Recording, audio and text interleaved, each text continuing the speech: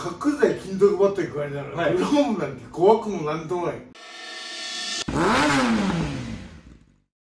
はい、ということで、今回は、えー、我流慎吾さんに、えー、お越しいただきました。ありがとうございます、我流さん、お久しぶりです。お久しぶりですお 久しぶりです。久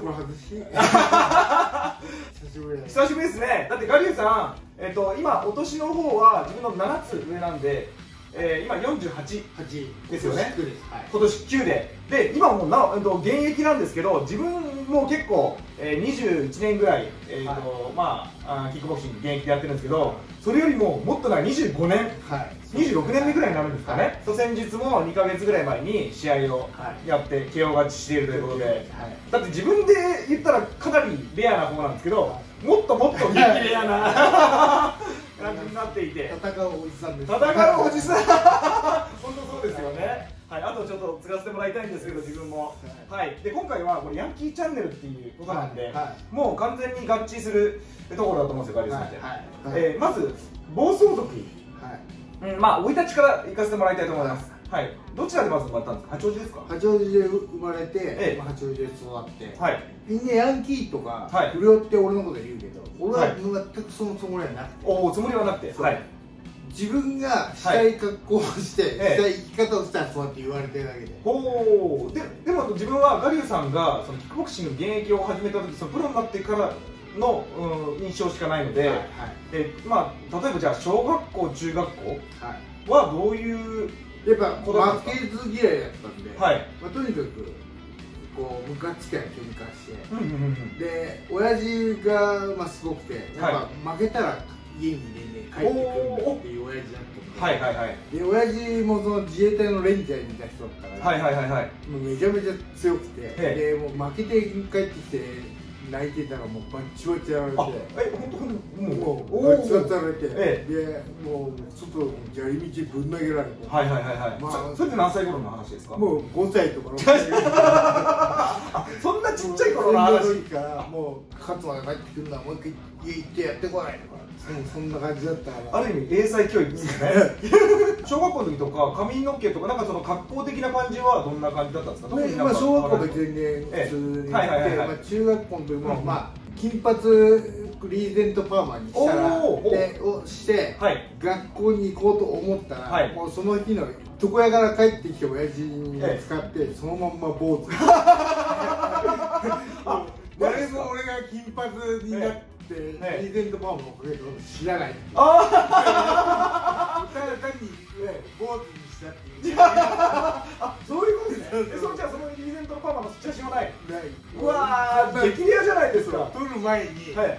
もう親父に駆られてほもうただの坊主。えでもお父さんはそのなんか結構英才教育というかそのなんだバイオレンスな英才教育だったと思うんですけどヤンキーみたいな感じの校則を破ったりはっていうのは？もうだもうやっぱり先生の言うことにして、ほうほうほう。えでもだってややられたりやり返すのそのなんつうんですかね。喧嘩は、はい。お前が間違ってなければやる。あそういうことですね。間で違ってなければ。そう。でその代わり1対はい。うんうん1でやれと、はい。っていう感じだったからで、うん。小学校、なんていう6年生ぐらいの時に、はいはいはい。中学生2年生ぐらいのは、うんその人たちが竹馬をやってて、竹馬。はいはいはいはい。で竹馬やってたらもうめっちゃ下手くそで、はい。ででみんなで小学校6年生の俺なんかが「うん。ね竹馬下手くそ」って。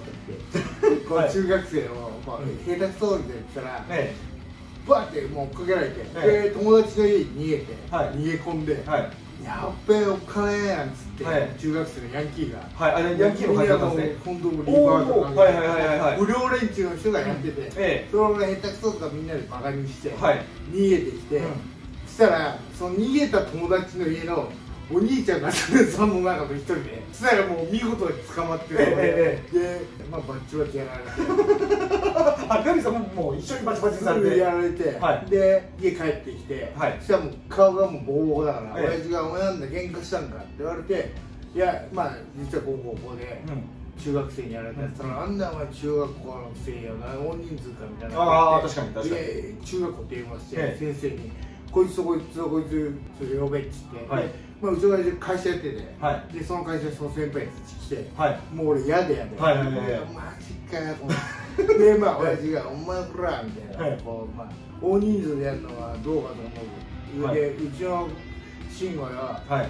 お前台湾でも負けねえから、はい。1対1やだとか言ってちょっと待って一個小6と中2って結構そう。そう全体然でかくて。ですよね。マジかと思って、ええ。一人ずつ3人のやってやれって言われてえ台湾を3回やるそう3回やれって言マジですか？はい。でまあとりあえず1人目やって、はい。まあ、何とか勝って。はい。でもう1人目でもうぐでぐで疲れてるしはいもうやりたくねえよ、はい2人目ももうなんかもうやろうかやらないかみたいな迷ってるよりも向こうの親とかもはい。一緒に親も呼ばれていて、えでまあ、向こうの親とかもうすいませんごめんなさいみたいな感じで、はい謝ったんでまあなんとか一人やってやったところで終わったんですおよ。おで、えそれがで今度俺らがはい中学校上がりました、はい。中1になりました。上がりました、そしたらそうやった人は中2だから、はい。中3でいる。中3になりますよね。そうですよね。そうですね。でもう、えああこの野郎みたいな。ああ力が。マジかよみたいな。中古に入った時に言ってきたってこと結ですね。局もうお前があの時は3でやってくれたらこんなのみたい。な、はい。まあそうやった人もまあ親がいるからあんま本気やらなかったけど、はい。もう一回やるからこの野郎みたいな感じで言われて、え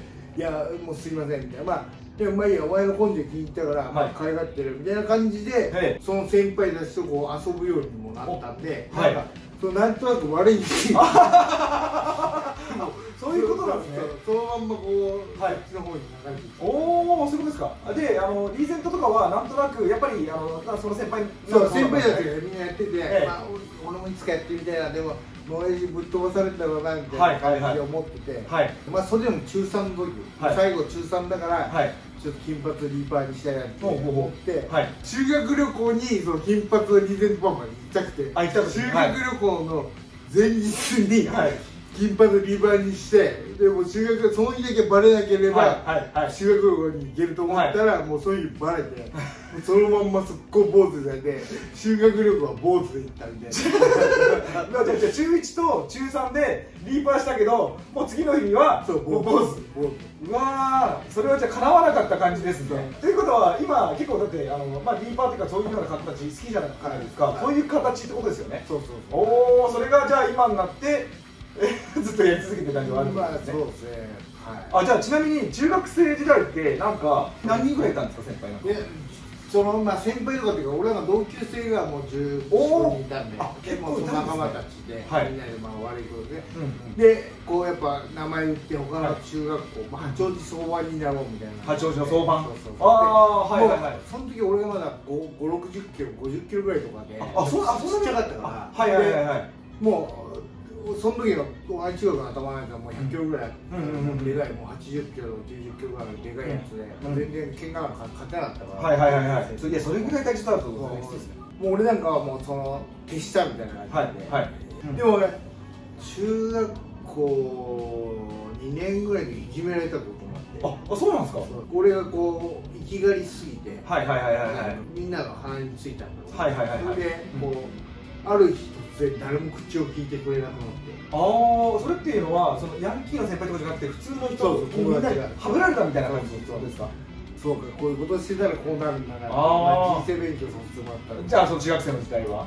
あでそうですね。はい。でまあ先輩とかもこう遊んでたけど、やっぱこうちょっとタバコ吸いてるから、い。タバコ持ってこいとか、はい。でワンカートも買ってこいとか、はい。ワンカートが中学生で買える金ないから、あももうそのワンカートも盗んで盗んできて。あじゃああれですね。自分らの頃って中学生の時はそのなんかカンパ的なものはなかったんですけど暴走族の頃はカンパ的なものがあってそれでなんか万引きしてお金にしたりとかっていうのはあったんですけどそれを中学生でちょっとややってたって感じになりそますね。れだからカンパは、はい。カンパ先輩から回ってきてあカンパ回ったんですね。はい。俺はもうすごい嫌だったから、はい。後輩にはカンパを回すから、おはい。でなんとかみんなで金集めて、はい。親の金とか盗んではい。集めてたけど、はい。はい。最後どうしても5000円ぐらい足んなくて、うんうんうんでそれだけ汽車に回そうっつって、はい。一回回したら、はい。それも下が先生に言ってでまあ、はいうちの親父とか、まあ、いろんな親にバレて、ええ。もう親父が誰がカンパを回したか、はい。あそうなりますよね。でまあ暴走族の上の人だったらはいだからまあゆくゆく上はね、そはい。の不良の人たちがこうね、こっち系の人たちが出てきて、はい。でそのまま名前が上がってって、はい。そしたら今度親父が、はい。そのこっち系の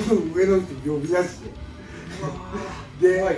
もう、俺なんかもうブルブルで、みたいな。はいはいはいはい。はいどうする殺されんじゃねえかみたいな、はいお父さんめちゃくちゃイケイケっすね。でもうまあじゃあ親父も自衛隊レンジャーいたら、はいはいはい。喧嘩なんか負ける気もないし、はいはいはいはい。で呼ばれて、はい。でもうその人がいて「あもうあもうすいませんすいませんみたいな。でこう終わったんですけど、ええ。でまあねもうそっからもうお前らよみたいなこう会えばはい。どっかこう街で会えば「はい。おう元気か?」みたいなもうビクビクしながら、ああはいはいはい。だからでも、うんそういう人たちともこうそういう形で知り合いになってるから。あはいはいはいはい。あそういうふうに繋がってってどんどんどんどんそうそう。なんか悪い人たちのつながりがまあ 親父のおかげで増えちゃった 逆の感じに。なっちゃった逆に。えちなみに小出さんって高校は行かれている感じ高ですか？校ははい。行ったんですけど、はい。何てとこですか？八王子工業高校。八王子工業高校。まあ八高って呼んでるんですけど、はい。八高にはい。試験受けに試験受けに行って、そこのクラスの担任になる先生に呼び出されて、はい。ちょっと来てくれって言われて、はい。行って、そしたらその、まあ、職員室みたいなところで、お前の内申書とかじゃ、はい。どんな人間でも、はい。お前を受け入れることはできない、ほうほうほああそうですかっつって、はい。でちょっとなんかいろいろ世間話がしちゃって、はい。世間話してたら、うはい。はい。じゃあお前合格じゃあどういうことな何が合格ですかって言ったら今年からな、はい。お前はうちのクラスで頑張れ、はい。でちゃんと。ちょっと待って。試験試験を？え試験いやですよね点数まだ出てないですけど、はいはいはい。試験受けたばっかりだから、はい。いやいいんだ。俺が合格したら合格だからって言われて。その先生の名前言ったらまずい。いや言わない言えない。もう死んじゃったんですけど。ああそうなんですか。それもしかしてお父さんの力働いてないですか？いやどうですか？そこはないですか？いやないと思いますないと思いますではい。まあ八校に入学して。であちこ入学して、はい。でもう初日に、はい。1時間目の授業はここで、はい。体育のなんか生活指導みたいな先生の授業でもう合体するよ。はいはいはい俺寝てるから、はい。で授業始まって「お前起きろ!」って名簿の角でバンで俺寝てたら、はい。もう寝ぼけて「てろだろバン!」って中学校の時に先生に殴っても、はい。怒られてすんだけどじゃあ今その中学校の時も先生が殴ったことあるんです殴ったねそこもうすぐに行っちゃってるで高校の時も。はい。高校の時は、ええ殴ったら退学って確かに確かに。そうですよね。でも、はい。まあ、とっさに。そう寝ぼけてて、はい。でとっさにこうバーやっちゃったから、はい。今回は寝ぼけてたってことで勘弁して。ってえあれ禁酒みたいな感じになった感じですか？いや何にも。なんだあでも相手先先生が生がそれをやったから、はいはいはい。それも悪いけど正当防衛的な感じになったことですよね。とりあえず、ええ。しょっぱなからそんな感じだったああそうなんですか。それ,、まあ、それで高校の時ちょっと、まあ、最後に、はい。その同じ学年のやつで、はい。なんかちょっとバイク買ったやつがいて、はい。それ今度俺に乗らせろよって言ったら、はい。あーみたいな、はい。なんか切れて、はい。そしたらそいつと一緒にいたやつの一人が、はい。3回ぐらいダブってて、はい二十歳前19ぐらいのやつがはい。同じ1、いや2年生なのに、はいはいはいはい。中とかぐらいのやつがい。て、はい。でなんかすげえ言いがってて、はい。でなんでてめえでこう胸ぐらつかまれたから、はいはいはいはい。お前こんな野郎ってバッチリそのまま言って、ええでもう3人とボコボコしてええ。でまあおうおう。おう1人腕折れちゃって、はい。3対1だから、ええ。どう考えても俺の方が不利なのに、はい。はい。まあ、過剰防衛そういうことになっちゃったんですね。一人はもう脳天かかとうすしその練りチャギ懐かしいあのとかねあはいはいはいりチャギがこう流行ってて、ええやってみようと思ってこんな練りチャギかましたら、バーンってそのままコンクリートにドーン頭ぶつけて、はいはいはい。泡吹いてええはいはいはい。でもう慌てて保健室先生呼びに行って、え。ちょっとこれこいつがすごいことになってるとか言ってで、えそういう喧嘩がバレて、はい。結局俺が処分がバレて。無期懲。で無期定額。無期あ無期無期定額。はい。無期定額になって、はい。はい。で相手ははい。うん一切処分なし。はそしたらこううちの親父が切れていはい「んなんだそれ」っつって「はいはいはい。お前3対1やったろ、うんうんうん。3対1」ここが先に今が掴んできたはいはいはいはいはい。はいなんでお前そんなことではい。やらせていいんだよ、もうお前こんな学校行かなくていい。お行く必要はねえ謹慎というよりも無期定は無期限になって、はい。もう、学校やめてやめやめろって言われて、で、まあ俺も別にはもう、もういいやと思って、こんな国生がもしょうがねえやと思って、じゃあ八校は高校2年生でそう2年で退学そうまあ自主退自主退になったんで。すねあそうだったんですね、えまたもう一個じゃあこの生い立ち編ちょっと聞きたいのがえっと、なんか暴走族の集会とかにも出てた感じ。よく暴走族の、まあまあ、この感じもそうじゃないですか。そうだからそうですし。さっきのはい話の続きで、はい。その結局そういう悪い人たちと仲はい。良くなりましたはいはい。はい。はい。で、まあみんな先輩たちがうん。悪い人たちはみんな暴走族に繰り上がってくる、うんうんうん。でそういう人たち仲がいいからはい。こう暴走族の集会におお前ら遊び来いよって言われてはい。はい。遊びに行ったりとか、うんうんうん。でそう先輩がバイク乗っかってる、はい。でああここ面白いなと思って、はいはい。で俺実はあの5歳からバイク乗らされて一応ねモトクロス。ああはいはいはい。モトクロスのレース5歳から出てあそうなんですか？はいえええ。もうバイクが全然得意で。はい。レースも出て結構優勝したり。ああああそんな感じで俺雑誌にも出たことが小学え6年生え出たことがあってはい。でそしたらまあ先輩たちに可愛がられてるから、はいはい。で走るかみたいな感じになってまあそのまんまの流れで。はい。集でこうでまあ先輩たちはそこの暴走族に後輩として入るだろうなってはいはいはい。思ってると思うんですけど、はいはいはいはい。普通の流れだったらそんなになりますよね。でも俺がなんかどっかに所属しちゃうと、うん。今度その肩書きを背負ってやらなきゃいけないから、はい。そう。まずそれも嫌だったし、であとは先輩のこと絶対に言うこと聞かなきゃいけない、俺にはそんなの耐えられない。ああそっか自由でいたいし自分の好きなようにやりたい。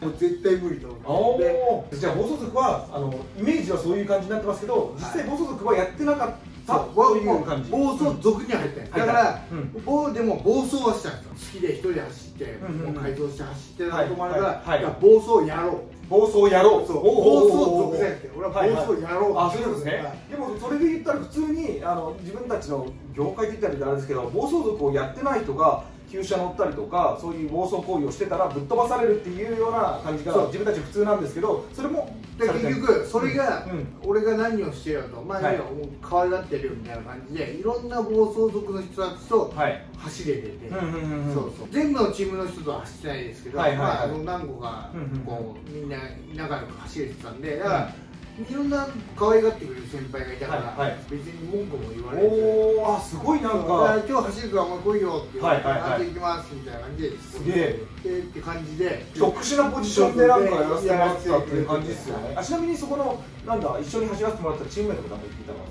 まああんまりこれはもう言わない方言わない方がいいですか？そうですよね。でもでも確かに今のガリさんの話からするとその名前をあんまり出さない方がいいかもしれないですね。はいはいまあそうそうそんなのがあって、うんまあ喧嘩もしてきたし。え喧嘩っていうのは暴走族の喧嘩ですか？いや暴走族でもだ例えば相模のやつが来た、はいはいはい。横浜のやつが来た、でこれみんな行くぞ、みたいな感じで「分かりました」ってみんなで行って、はいはいはいはい。でこう構想みたいな。はいはいはい。喧嘩集会みたいな感じとか。あって、まあ、そんなんも行ってあとは、うんうん富士山に正月とか走りに行く時恒例でありましたよね富士山に行く途中に他のチームと勝ち合ってええ。喧嘩すると。か、めちゃめちゃ満面の笑顔じゃないですそうそう。そんなにやってで喧嘩するのすげえ好きだったから、はいはい。まあそのまんまの流れで、まあうん。ぶっ飛ばされたのもありましたし、負けたこともあるし、ね、で先輩に焼きだとか言って、うんまあ先輩だからもう無抵抗あそうですよねこれ。まあ手を一緒にして、はい。まあ今日ちって俺女に振られたんだよはい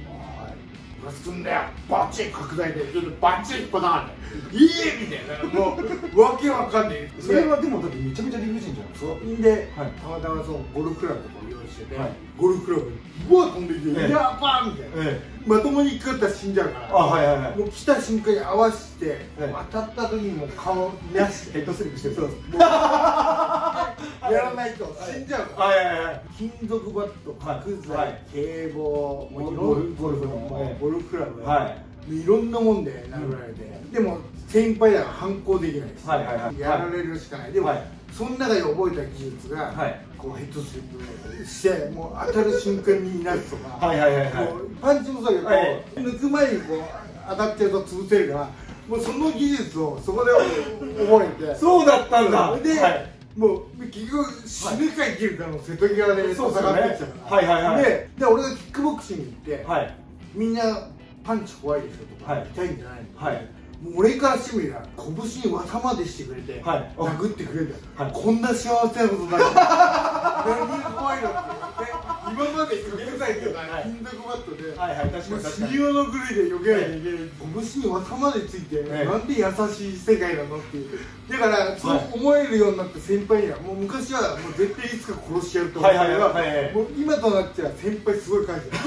あなたたちのおかげで俺は強くなれましたっていううわーでもじゃあそういうまあ今なんだ格闘技の人ガリューさんをしか知らない人だとしたらだって分からないと思いますけどこういうふうにガリュー慎吾が作られたっていうのがはいってことですよね。あんだけ打たれ強かったっていうのがそういうことだったんですね。結局試合とかでノーガードで、はい。来いよってガリタイムとかはいやれんのも、角材金属バットに加えながら、はい。グローブなんて怖くもなんともないそれだとしたらちょっと待ってください。これ今あのなんだ？生い立ちからちょっと聞きたんですけど、あの他の格闘技をし、えっと聞きたかったんですけどそのままちょっと続けて、はい。格闘技のちょっとお話はい。をそのまま行きたいんですけど、はい。ベストワンに打たれ強くて、はい。怖いぐらい、はい。いやだってガリューさんがあんだけパンパンチもらってるんで、ちょっと本当失礼でだったら申し訳ないですけど気持ち悪く感じちゃうぐらい